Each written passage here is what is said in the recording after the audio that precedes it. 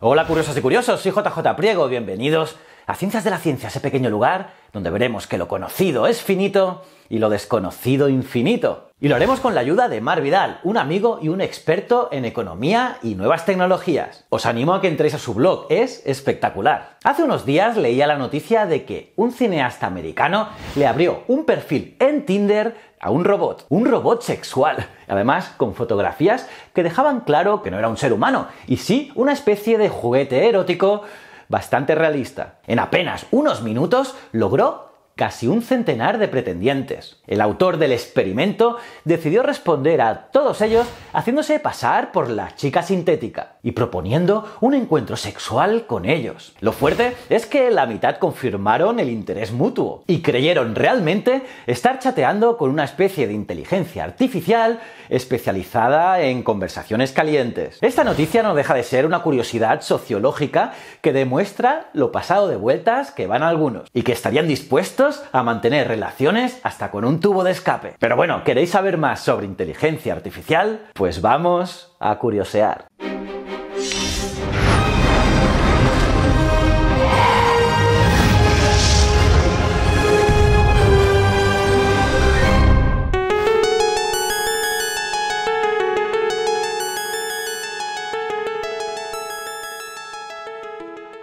Pues bien, curiosos, aparte del robot sexual que os comentaba anteriormente, hay otros bulos referente a la inteligencia artificial. Esta, además, seguramente sea digna de análisis por parte de los medios de comunicación y del modo en el que trasladan algunas noticias del tipo tecnológico. Pues resulta que hace solo unas semanas la prensa de medio planeta tituló como un acto sin precedentes que el robot Piper compareciera ante el Parlamento británico, convirtiéndose en el primer humanoide en ser interrogado por parlamentarios en todo el mundo. Pero es que aparte de ser mentira la primera afirmación, es falsa la segunda. Ni era el primer robot que comparecía ante un parlamento, para hacer esto solo se precisaba hacer una simple búsqueda en internet, ni tampoco fue interrogado. Y es que el teatrillo es de un ridículo supino. Ver a sus señorías en una conversación preparada y preguntando al robotillo sobre sus habilidades de debate acerca del futuro de la convivencia con los seres humanos es de vergüenza ajena, si no fuera incluso peligroso. Y es que es peligroso mostrar una serie de avances que no existen y que probablemente no existirán jamás de ese modo. Porque la inteligencia artificial es mucho más serio que esa escenificación. Reconozco que puede ser nutritivo e incluso interesante mostrar un ejercicio hacia el debate y popularizarlo. Pero al terminar el evento no estaría de más comentar en prensa y reflejarlo así que todo es un bulo notable y que ni el robot piensa ni va a pensar. Lo peor no es que los presentes lo saben, lo jodido es que la prensa se lo cree o se lo quiere creer, lo publica, lo emite y lo replica hasta llegar al punto de que parezca que el estado del arte de la inteligencia artificial en el mundo es similar a lo que se ve en películas como Her o Ex Machina, como en cualquier película de ciencia ficción. Y estamos hablando en términos científicos a años luz de eso. Aún así, hay gente que se descojona con este asunto. De ahí que sea interesante poner el asunto en su justo lugar por dos razones. Por un criterio comercial y económico, la inteligencia artificial, los sistemas expertos y el aprendizaje profundo nos van a modificar el modo de trabajar. Pero no porque hablen como nosotros o piensen, sino porque son más rápidos, eficientes y económicos que nosotros en hacer lo que nosotros hacemos. La otra razón es porque las empresas que se dedican a la fabricación y distribución de este tipo de productos se encuentran con el famoso yo pensaba que hacía más cosas. Y claro, esto puede desmotivar a estas empresas que tantos esfuerzos dedican. Y es que al final tenemos que ver exactamente dónde está el asunto, hasta dónde llega realmente la inteligencia artificial, porque está claro que hay algún desarrollo realmente avanzado, como Sofía, un robot con el que se puede hablar y que con las últimas actualizaciones realmente sorprende el juego dialéctico y el aprendizaje aparente. Sin embargo, claro está, no piensa, no tiene conciencia artificial. Y es que una cosa es la robótica y otra, muy diferente, la inteligencia artificial. Una cosa es que un sistema sea tremendamente eficiente resolviendo cosas y otra es que piense. En un momento dado, David Hanson, el locuaz CEO de Hanson Robotics, la empresa que ha desarrollado a Sofía, dijo que ella, el robot Sofía, estaba básicamente viva y lo hizo en uno de los programas de televisión más vistos del mundo, el Tonight Show de Jimmy Fallon. Allí, en ese programa, Sofía mantuvo una conversación con el presentador y claro, todo se precipitó. La adoración de la prensa se extendió por el mundo de modo inverso a la crítica sobre lo que realmente sucedió allí. De esta manera, Sofía empezó a recorrer el mundo y a participar como ponente en un montón de conferencias, congresos y eventos. La cúspide fue en Arabia Saudita, donde se le concedía la ciudadanía con derechos y deberes. De ella, de Sofía, se dijo que era la primera ciudadana no humana del mundo. Representaba un antes y un después. Y no hay duda de que Sofía es una impresionante obra de ingeniería. Hanson Robotics y Singularity, que colaboran con empresas de tecnología de todo el mundo, han equipado a Sofía con redes neuronales sofisticadas que le dan la capacidad de aprender de las personas y detectar y reflejar respuestas emocionales, lo que hace que parezca que el robot tiene personalidad. Sin embargo, debemos ver en Sofía una especie de experimento complejo de sociología y un análisis de las expectativas creadas. Ben Gorgel, director general de Singularity y científico jefe de Hanson Robotics, ya dijo que Sofía y los otros robots no son sistemas de aprendizaje puro, pero sí implican el aprendizaje en varios niveles como el que realiza en sus sistemas visuales de redes neuronales. También aprendizaje en sus sistemas de diálogo OpenCock u otros que tiene diseñados. Esto es verdaderamente más realista y a la vez es interesante la percepción pública de Sofía en sus diversos aspectos, por ejemplo su inteligencia, su apariencia y su amabilidad. Ahí sí que nos situamos cerca de la realidad. El problema viene cuando proyectos altamente publicitados como Sofía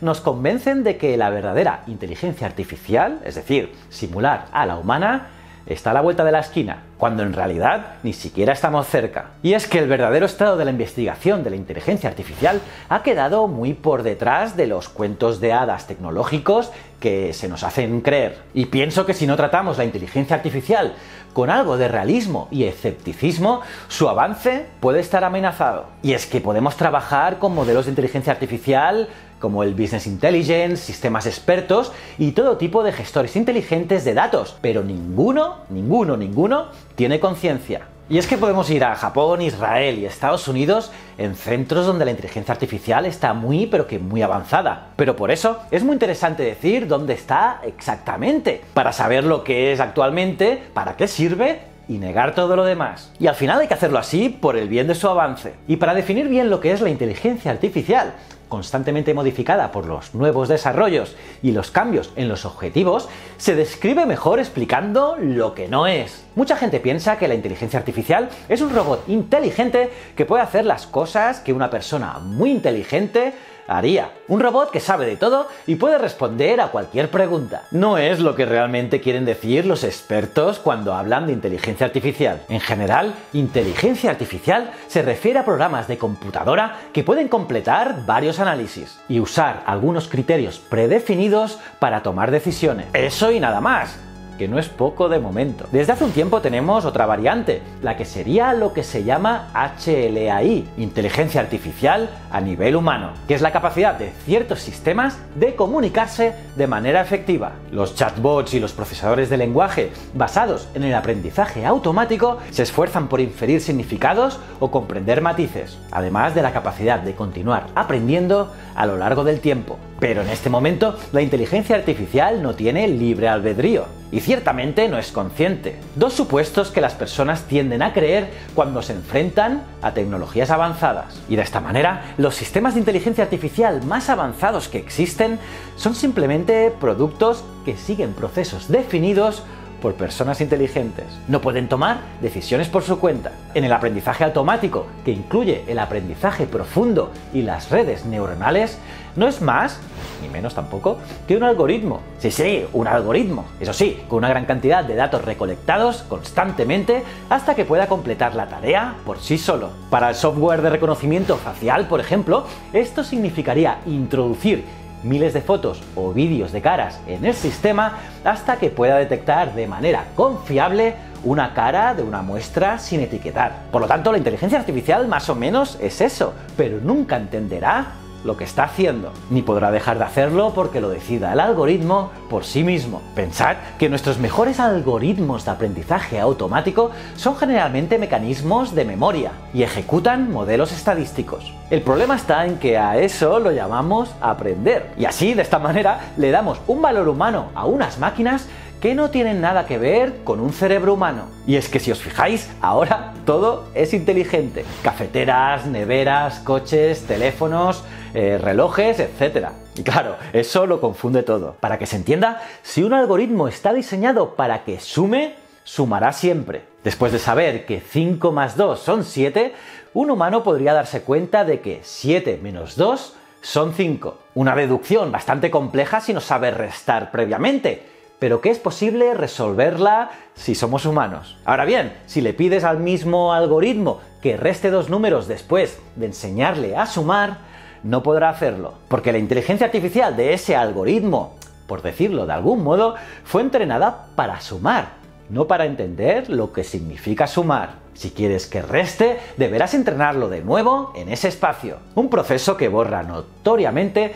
todo lo que el sistema de inteligencia artificial había aprendido previamente. Un humano aprende del error. Una máquina, de momento, solo identifica que se equivocó pero no lo que significa. Y eso es muy importante. Y es que al final, entre investigadores que necesitan crear expectativas, desarrolladores que necesitan inversión y periodistas que no pueden saber el fondo técnico de lo que presentan, se está creando un potencial problema. Un potencial problema a medio plazo que podría realmente ser muy perjudicial para la evolución real del sector. Porque esta promoción injustificada podría estar impidiendo un proceso real y útil. Pensad que las inversiones financieras en inteligencia artificial están inexorablemente vinculadas al nivel de interés y publicidad que surja del sector. Ese nivel de interés y las inversiones correspondientes fluctúan enormemente cuando, por ejemplo, Sofía tiene una conversación forzada algo que no le sale del todo bien, o cuando algún nuevo algoritmo de aprendizaje automático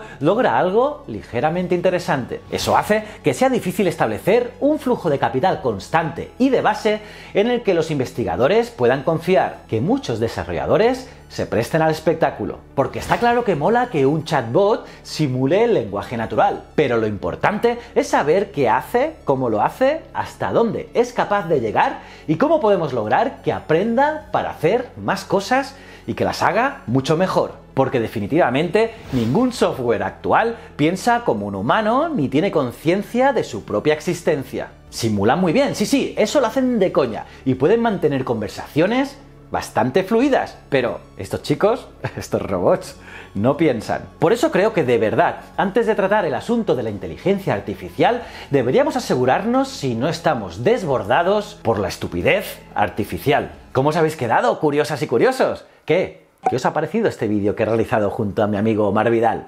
Está guapo, ¿verdad? Me lo podéis poner en los comentarios. Nada, si te ha gustado, dale al me gusta. Y si es tu primera vez aquí en Ciencias de la Ciencia, dale a este botón y suscríbete al canal. También a la campanita para estar al día de todas las novedades. Y para acabar, me gustaría recomendar seguir mis otros dos canales. Easy Promos TV e Historias de la Historia. Estoy seguro que te van a gustar. Y recuerda, el conocimiento es un requisito esencial para la supervivencia. Muchísimas gracias.